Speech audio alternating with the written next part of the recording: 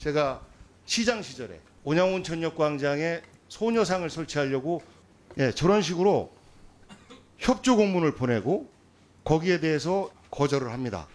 그래서 못했어요. 동대구역에 대해서는 유독 다른 그 기준을 대고 있는 이유가 뭐지요? 국가철도공단 이사장입니다. 예, 우리 그 전국에 있는 많은 역광장에 다양한 조형물들이 많이 설치되어 있죠. 예, 예. 그 조형물들을 임의로 설치할 수는 없지요. 그렇습니다. 모두가 다 아, 철도공단과의 협의를 통해서 승인을 받고 나서 설치를 하지요. 어, 건설 사업 중에 설치하는 경우도 있고요. 어, 또는 저 철도 시설 운영자인 코레일 아니면 또 아, 철- 그러니까, 예, 그렇게 예, 그러니까 예, 협의 없이 하는 경우는 예, 예, 없다라는 말씀인데 우리가 용산역이 어, 상징적으로 보면 과거에 일제 강제징용 노동자들이 이제 열차를 타고 출발했던 그런 상징적인 곳이라 그곳에다가 강제징용 노동자상을 지금 건립해 놓고 있지 않습니까? 예. 그거에 대해서는 왜 협의가 안 된 거지요? 당시에 그, 그 노동자 상 설치를 위해서 협의를 했는데 에, 그 승객들 이동 동선과 겹치고 예, 이동 동선과. 겹치고 예, 불편하기 때문에 한 걸로 알고 예. 라는 것이 흔한 이유지요. 예. 얼마 전 오세훈 시장도 어, 지하, 지하철에 있는 독도 어, 상징물을 아, 그렇게 시- 뭐 동선에 불편함을 준다라고 해서 없앴는데 그이 정부 들어서 어, 이 부분에 대해서 그 지금까지 쭉 보니까 과태료 뭐 변, 변상금을 이렇게 그 부과를 했더라고요. 1,250만 원 정도. 지금도 현재 계속 부과 중이죠. 예, 그 지금 그 불법으로 또 무단으로 설치는 것이기 때문에 에, 국유자산법에 따라서 변상금 조치를 지속적으로 하고 있습니다. 예, 용산역과 대구역, 동대구역 중에서 유동인구가 어디가 더 많습니까? 아, 그 부분은 좀저 파악을 해야겠습니다. 동대구역이 서울역에 이어서 전국 2위의 이용률을 보인다라는 보고가 있던데 맞습니까? 아, 저도 그런 내용은 들은 적이 있는 것 같습니다. 하루 평균 유동인구가 약 5만 명 정도라고 해요. 그러면 용산역보다도 훨씬 더 많은 인구가 왕래하는 곳인데 이곳에는 왜 그 이런 그 기준을 준용하지 않습니까? 어, 거듭 이제 그 말씀을 드리지만 지금 저 뭐야 그 동대구역 광장 같은 경우는 아직 건설 중에 있는 자산이고요. 관리권이 대구 대구시에 있습니다. 그리고 에, 지금 현재 설치한 잠깐만요. 소식은 대구시 저, 저 어, 관리. 위탁만 했지 예. 그것에 대한 소유는 여전히 국가 소유이고 그곳에 어떤 조형물을 설치할 때는 반드시 그 그 땅을 관리하고 있는 시설관리공단과 협의를 해야 되는 겁니다. 과거에 제가 시장 시절에 어, 온양온천역 광장에 소녀상을 설치하려고 공문을 보내고 받았던 것들이 있어요. PPT 한번 띄워주실래요? 예, 저런 식으로 협조 공문을 보내고 거기에 대해서 이러이러한 이유, 뭐 사람들이 많이 왔다 갔다 하고 뭐 한다라고 해서 거절을 합니다. 그래서 못했어요. 많은 사례들이 있습니다. 아, 그런데 이번 대구시 같은 경우는 이런 절차 전혀 없이 마찬가지로 온양온천역도 아산시에서 그 유지보수에 대한 관리를 하고 있습니다. 마음대로 안 했습니다. 못하게 했으니까. 그런데 동대구역에 대해서는 유독 다른 그 기준을 대고 있는 이유가 뭐지요? 거듭 말씀드리지만 지금 동대구역 데크, 어, 동대구역 광장은 철도 시설법상, 아, 철도 건설법상 아직 준공이 되지 않은 준공이 되지 않은 문제다. 대구시가 오- 가지고 오랫동안 때문에. 지났기 때문에 그것도 문제다라고 했는데 예. 거기에 대해서 애- 당초에 설계가 없었던 시설물이 들어온 것에 대해서 눈 감고 있었던 것 자체가 직무유기에 해당되는 겁니다. 그리고 저- 이것이 예. 조용히 남모르게 설치된 것이 아니고 홍준표 대구시장이 이미 SNS를 통해서 떠들썩하게 소문 내놓고 진행했는데 장관부터 시작해서 모든 관계부처 분들이 눈 감고 있었어요. 이거 중미 그 직무 유기에 해당되는 것 아닌가라는 판단하는 겁니다.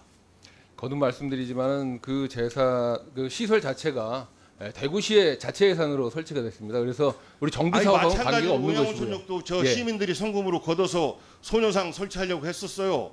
뭐 그런 말씀은 말이 안 되고 기본적으로 구- 국유재산 관리를 하고 있는 그 담당 기관의 문제입니다.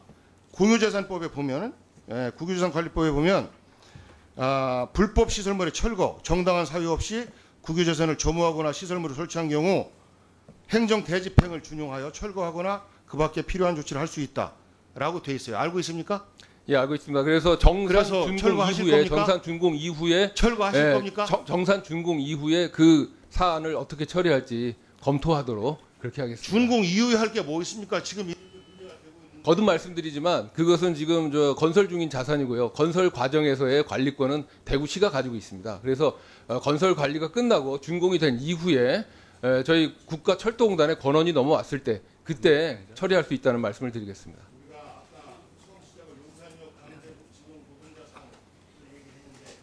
거기에 적용한 기준을 똑같이 적용시킨다면 이 이사님 그런 말씀 못했다. 많은 국민들이 이 정도 들어서 왜 이럴까? 얼마 전 8.15 광복절 행사도 우리가 북쪽에서 못했습니다. 소녀상에 대해서도 설치를 불허했습니다.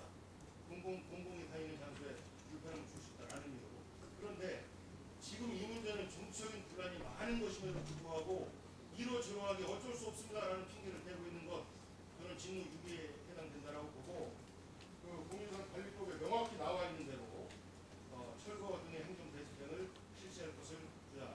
최대한 빠른 시일 내에 준공 처리할 수 있도록 대구시와 협의하겠고요. 준공 처리 이후에 에, 말씀하신 부분들에 대해서는 검토해서 자, 적정히 처리될 수 있도록 모든 노력을 다하겠습니다. 자, 수고하셨. 예.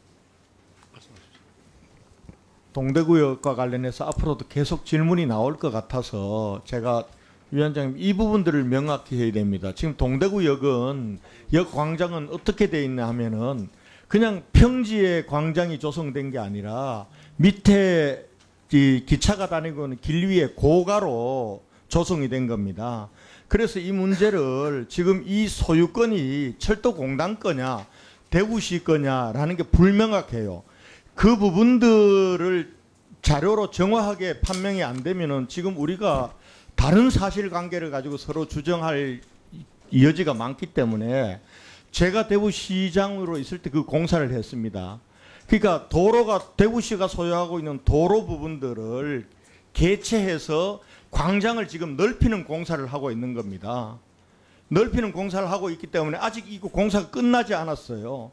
그것도 동대구역 광장 공사도 아닙니다. 교통광장 공사로 지금 하고 준공 허가가 떨어지면은 이거를 대구시 소유로 할지 아니면 철, 한국철도공단 소유로 할지를 협의해서 정하도록 되어 있는데 이 협의가 안 되기 때문에 준공 허가가 아직 안 떨어지는 겁니다. 그렇기 때문에 다른 역 광장하고는 이거 완전히 다르거든요. 그래서 위원장님 이 논의를 계속 정확한 논의를 하려면은 법적으로 그러면은 동대구역에 있는 지금 현재 조성되고 있는 광장 이 부분들이 한국철도공단 소유인 국유지인지 국유재산인지 아니면은 재산권이 대구시에 있는지에 대한 법적인 부분 자료들을 제출을 우리가 받고 난 이후에 논의하는 게 효과적이라고 봅니다.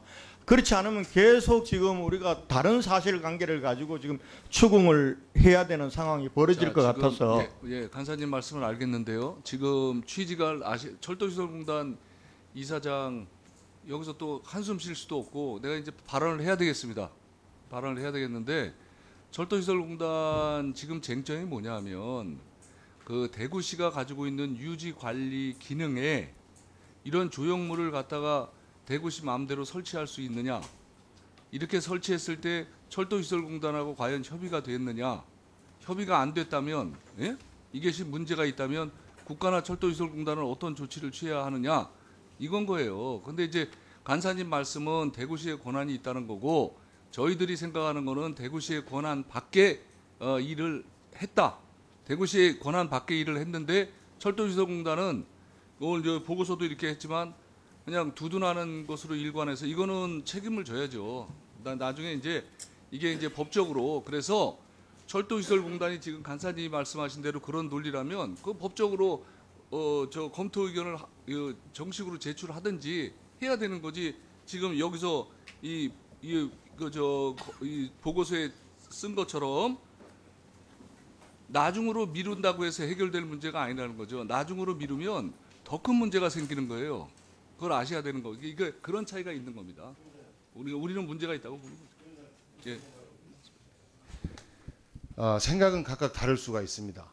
아, 우리 존경하는 권영진 위원장님께서 저의 그 질의에 대해서 생각이 다른 부분에 대한 표현을 해 주셨기 때문에 그런 말씀을 하시려면 그 권 의원님 질의 시간에 다른 각도에서의 질의를 해 주시면 돼요. 그런데 이제 저의 생각에 대해 저의 질의에 대해서 이러이러한 것들이 있는데 그런 것들을 확인되지 않은 상태 속에서 한다라고 하는 것은 그 저는 동료 의원에 대한 에, 좀 그 질의에 있어서의 예의가 아니지 않나 해서 제가 조심스럽게 말씀 여쭙고요.